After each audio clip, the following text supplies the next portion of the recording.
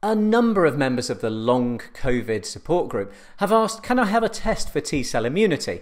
And we know what it's like. We might have had a negative antibody test. We found that not only frightening, but also frustrating. We think we should demonstrate some degree of immunity. You can't right now have a test on the NHS or through the open market for T cell immunity, but tests are being developed. They're being developed using proven technology that's now being tweaked so that they look for the specific T cells that respond to the SARS CoV 2 coronavirus. And in some early tests, they've been shown to be positive for these T cells as little as a week after testing positive for the infection.